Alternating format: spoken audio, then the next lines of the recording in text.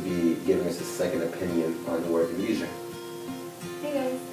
How do you manage to balance your work and leisure time? Well, I think I balance it very well because I have a very comfortable 25 hour work schedule and the rest I have leisure time. So it usually consists of family time, fiance time, and school time. How does your work and leisure time impact your school time? Well, uh, because my work schedule is very comfortable, it doesn't really interfere with school, and I, my leisure time, I choose personally to focus in school material, like studying projects, etc.